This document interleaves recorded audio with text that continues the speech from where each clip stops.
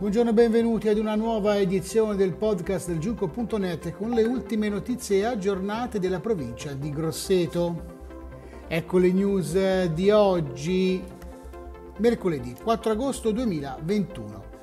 In apertura gli aggiornamenti sull'emergenza coronavirus. In un giorno casi raddoppiati in Toscana. I nuovi casi registrati nella nostra regione oggi sono 765 su 14.286 test, di cui 9.440 tamponi molecolari e 4.846 test rapidi.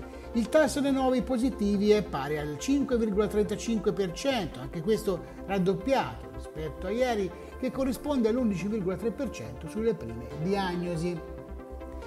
Buone notizie invece per quanto riguarda la campagna vaccinale. Oltre 9 toscani su 10 over 60 hanno ricevuto la prima dose, l'85% ha già effettuato anche il richiamo quindi è, ha una copertura da immunizzato.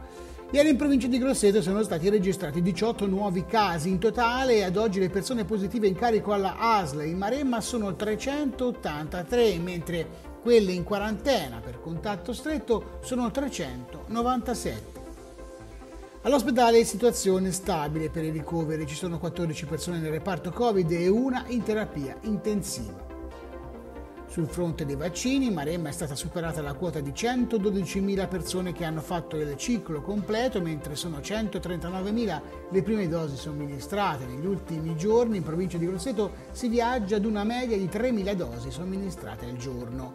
In totale in Toscana dall'inizio della campagna vaccinale sono state somministrate 4 milioni e 174.000 dosi.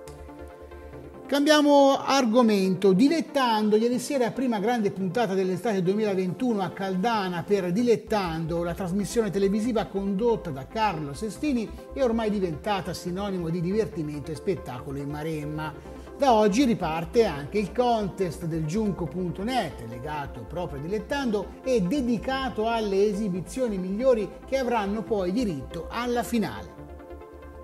Rimaniamo in tema, Maremma in diretta, stasera alle 19 torna l'appuntamento con la trasmissione di Carlo Sestini in diretta sulla pagina Facebook di Giuco.net, una nuova puntata dedicata all'ONAV, l'Organizzazione Nazionale Assaggiatori di Vino.